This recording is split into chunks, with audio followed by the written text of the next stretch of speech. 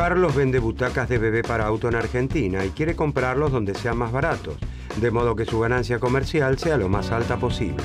La fábrica de butacas de bebé para auto de Italia, con mayor tamaño, equipamiento moderno y tradición industrial, produce con costos relativamente bajos y puede vendérselas a Carlos a 300 pesos cada una y así obtener una ganancia. La fábrica argentina, que no cuenta con equipamiento de última generación, no alcanza el mismo nivel de eficiencia, sus costos de producción son mayores y no puede vendérselas a Carlos a menos de 500 pesos para obtener una ganancia. Carlos, buscando comprarla lo más barato posible para ganar el máximo con la reventa, optará por comprarlas en Italia. Carlos piensa en su beneficio comercial.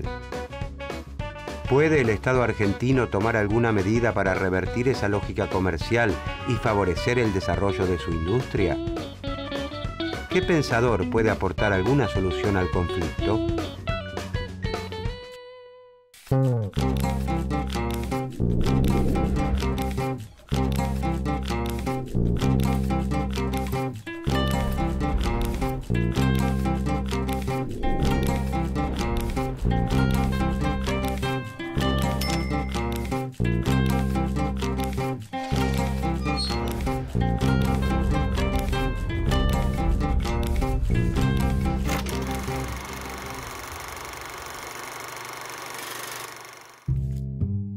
Federico List fue, junto a Carlos Marx, uno de los economistas alemanes más destacados en el siglo XIX. Nace en 1789 en Württemberg, uno de los muchos reinos en los que Alemania se había fragmentado desde mediados del siglo XVII. Inspirado por el crecimiento de las potencias de la época, Inglaterra y Francia, List aspira a la reducción de la brecha entre el desarrollo industrial de estas potencias y el de su nación y comprende que el primer paso para lograr este objetivo es la unificación territorial de Alemania. Lis desarrolla su actividad teórica como un hombre de acción. Como tal, lleva adelante una campaña por la desaparición de las aduanas interiores entre los reinos alemanes. Aunque su defensa de la Unión Aduanera resultó finalmente victoriosa, le costó 10 meses de prisión con trabajos forzados y una deportación a los Estados Unidos, donde viviría entre 1825 y 1832. En Estados Unidos, Liz toma contacto con la obra de Alexander Hamilton, quien fomenta la protección de las industrias nacionales a través del Estado. Esto lo impulsa a defender el proteccionismo para la subdesarrollada industria de Alemania y la extensión de su sistema de ferrocarriles. En 1841 publica su obra fundamental llamada Sistema Nacional de Economía Política. La obra de Lis se enmarca en la escuela historicista o histórica de economía. Esta corriente de pensamiento, representada principalmente por alemanes, proponía basar la ciencia económica en el estudio de la historia social, en lugar de deducir leyes sistémicas como lo hacían los clásicos ingleses. Los últimos días de Lee son desafortunados. Pierde muchas de sus propiedades en la crisis financiera que azota a Estados Unidos en aquel tiempo, enferma y finalmente se quita la vida en 1846. Sin embargo, la obra de Lis se convertirá en el más valioso legado que conducirá al desarrollo de Alemania en los próximos años. La influencia del historicismo alemán se extiende durante el siglo XX con obras como la de Max Weber y Werner Sombart.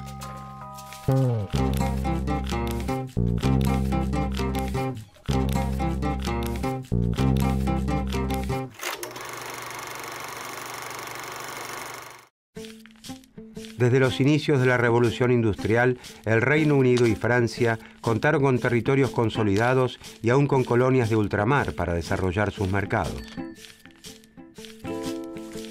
Los territorios vinculados por el idioma alemán, en cambio, se hallaban fragmentados en 39 reinos independientes que constituían desde 1815 la Confederación Germánica.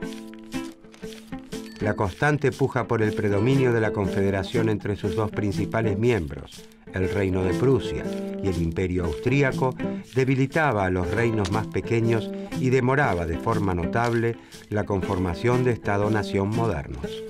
En 1834, y bajo la influencia de Prusia, se crea una unión aduanera o Zollverein a la que se suman todos los reinos de la Confederación excepto Austria.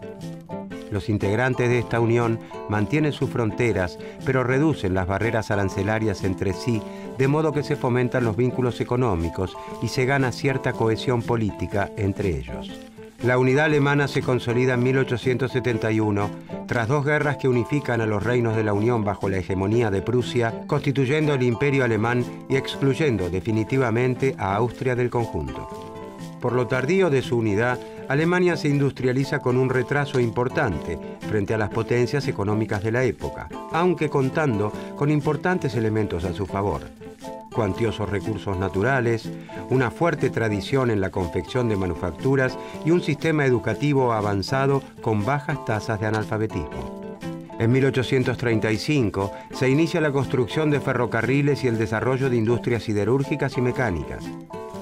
Dos décadas después, las industrias alemanas ya fabrican desde las locomotoras hasta los rieles. Con la expansión de las industrias pesadas se genera la infraestructura necesaria para el desarrollo de las manufacturas destinadas al consumo, y mucho antes de iniciarse el siglo XX, ya es claro que Alemania vive el proceso de industrialización más exitoso de Europa continental. Este notable crecimiento no se produce espontáneamente, sino a través de un fuerte impulso de la industria pesada por parte del Estado, que también protege con aranceles a las manufacturas domésticas destinadas al consumo. El relativo éxito de esta política, junto a la evidente expansión económica y militar del imperio alemán, harán que a fines del siglo XIX esta nueva potencia se transforme en una amenaza para el equilibrio internacional instaurado por Inglaterra.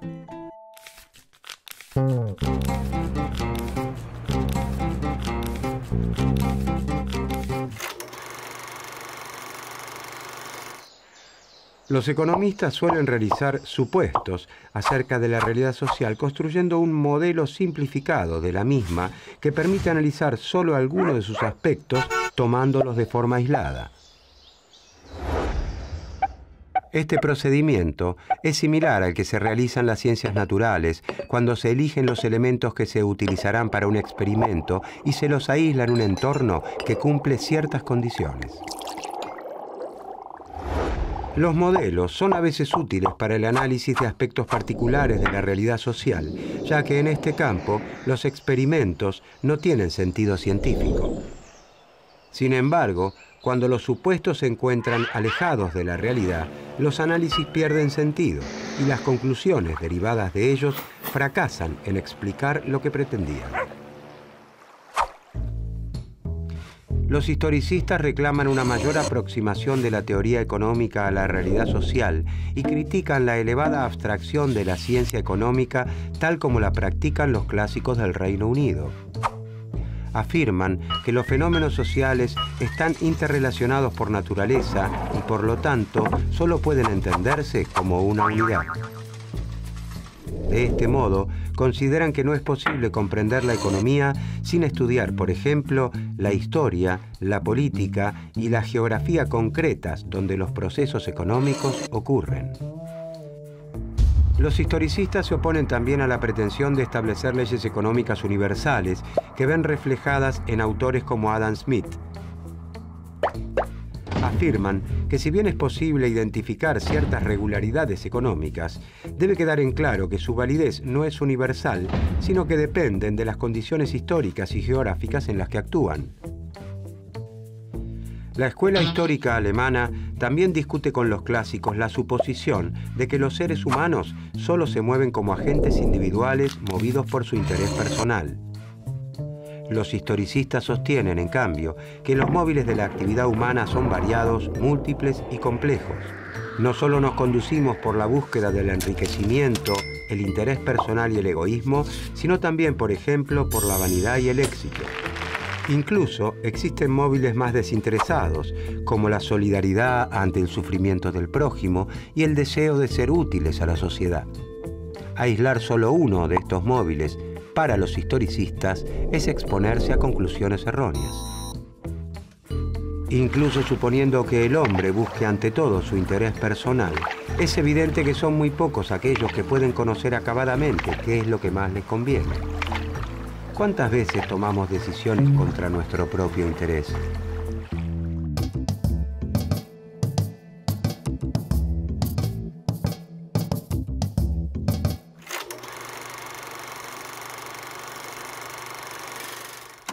Liz reintroduce en la ciencia económica el concepto de nación. Considera que el análisis económico de los autores clásicos soslaya la división del mundo en naciones independientes con intereses particulares. Según List, el potencial de una nación no surge de la reunión de las capacidades de todos los individuos que la integran tomados aisladamente, sino que depende principalmente del estado social y político y del grado en el que la nación, como un todo, ha avanzado en la división del trabajo. La humanidad no se compone por individuos aislados, sino por naciones. Entre el individuo y el género humano existe para List la nación, con su lengua particular, su literatura, su origen y su historia propios, con sus costumbres y sus hábitos, sus leyes y sus instituciones, con sus pretensiones a la existencia, a la independencia, al progreso y con su territorio bien definido. De esta manera puede comprenderse de qué manera las naciones que son florecientes han logrado tal grado de poderío y prosperidad o por qué motivo otras naciones han perdido su pujanza de otro tiempo. De hecho, dice List, la protección de la industria implementada por Inglaterra mediante reglamentaciones comerciales hasta transformarse en la economía más eficiente del mundo ha afectado a la industria alemana las exportaciones baratas inglesas, que ahora reclaman el libre cambio, han limitado el desarrollo de la industria nacional alemana. List parte de la concepción de nación como entidad distinta a la suma de los ciudadanos. Cree que no es cierto que lo mejor para el comerciante individual sea lo más conveniente para el país, como propiciaba David Ricardo, y que las naciones subordinan los intereses de sus ciudadanos a sus propios intereses nacionales. Por lo tanto, una nación debe procurar construir un todo completo que mantenga relaciones comerciales con otros países de acuerdo a sus propios intereses como sociedad. Y para eso deberá desentrañar cómo, en la situación actual del mundo, puede avanzar en su proceso de desarrollo.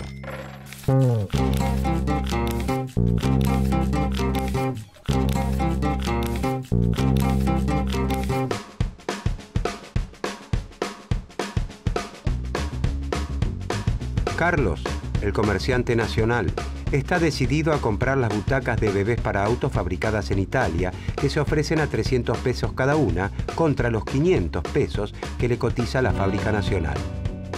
Es evidente que su decisión está basada en la ganancia comercial que puede obtener con la reventa, pero también se sustenta en la calidad del producto.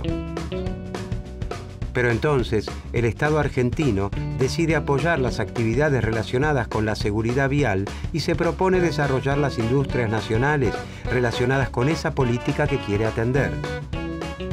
No es un cambio que se dará inmediatamente, pero se supone que, disponiendo de un mercado más grande y ganando escala de producción, la producción nacional va a ir mejorando. Por eso, como primera medida, el Estado argentino cobra un impuesto a las butacas importadas de 300 pesos. El precio de las butacas italianas aumenta a 600 pesos. El precio de las argentinas sigue siendo de 500 pesos. Carlos elige las butacas nacionales por el precio, pero está disconforme cuando compara la calidad del producto local con la del importado.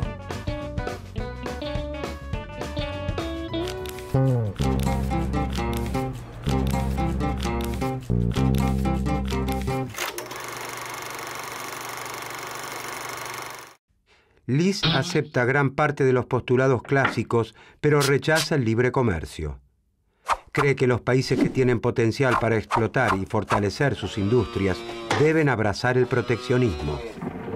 Solo con la intervención del Estado puede alcanzarse una industria manufacturera perfeccionada, una marina mercante considerable y un vasto comercio exterior.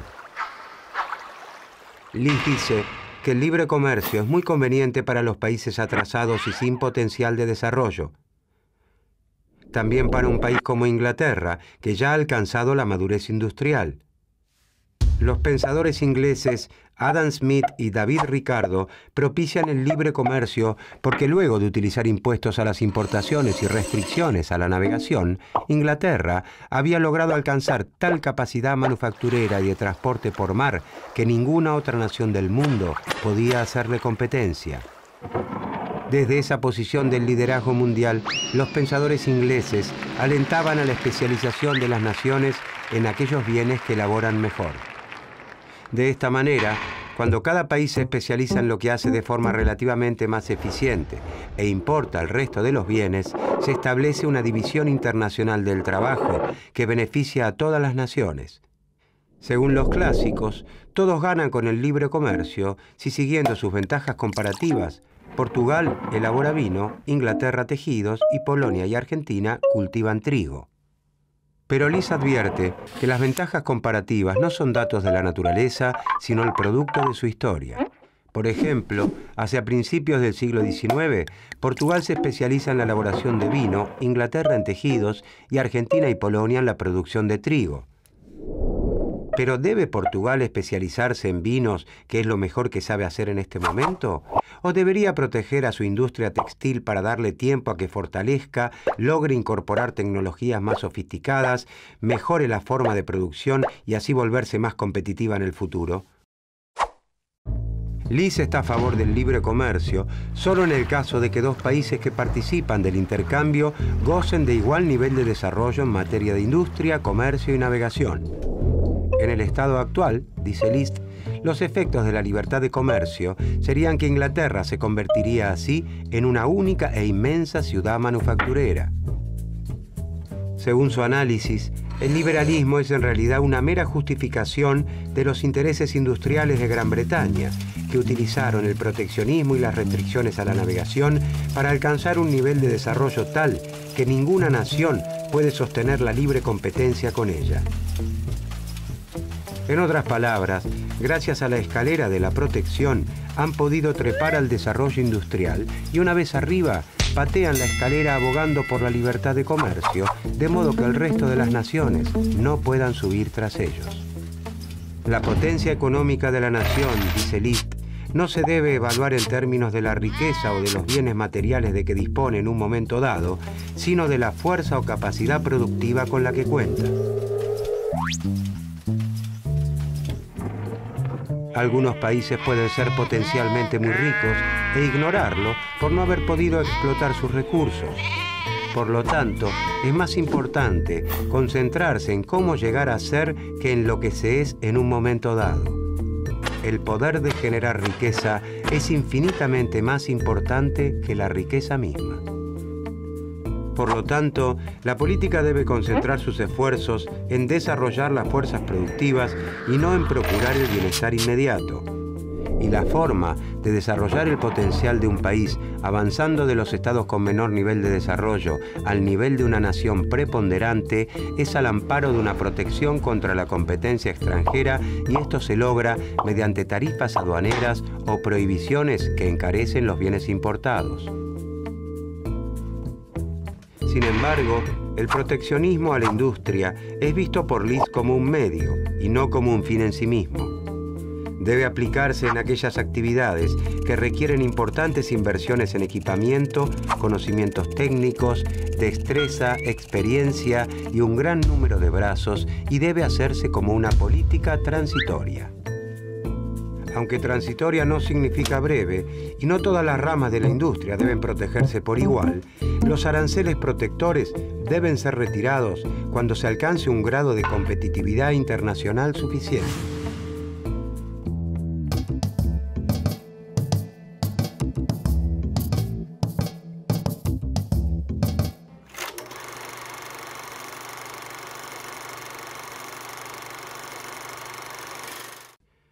La obra de Liszt ejerce una influencia muy importante en los países que buscan industrializarse y no quedar rezagados frente a los más avanzados. influye en el pensamiento orientado al desarrollo manufacturero y de protección a las industrias incipientes de Estados Unidos y Alemania a fines del siglo XIX e incluso de Japón y Corea ya en el siglo XX. Como pensador, Lis ocupa un lugar destacado en las historias latinas y alemanas del pensamiento económico, pero prácticamente no aparece en las historias del pensamiento económico escritas por autores anglosajones. Los historicistas llegan como conclusión a la necesidad del intervencionismo. Piden que el Estado tenga un rol activo para desarrollar la economía nacional y proteger a las ramas productivas aún inmaduras que no pueden enfrentar la competencia con industrias ya desarrolladas. Gracias a sus postulados, la economía alemana logra su desarrollo en virtud de políticas intervencionistas y proteccionistas. Los historicistas sostienen la importancia del conocimiento histórico y cultural atacando el método puramente lógico, la elevada abstracción y la falta de realismo de los economistas clásicos. Su permanente demanda de más estudios empíricos les confiere plena actualidad.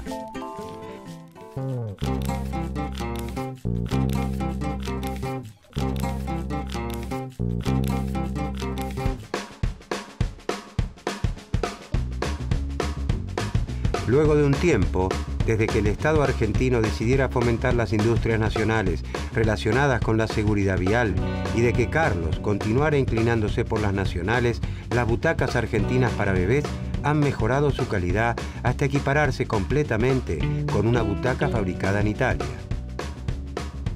El incremento en la producción de butacas argentinas le ha permitido a la industria nacional ganar eficiencia, incorporar tecnología y equipamiento y reducir el costo de producción. Ya no se justificaría el impuesto a la importación de butacas italianas.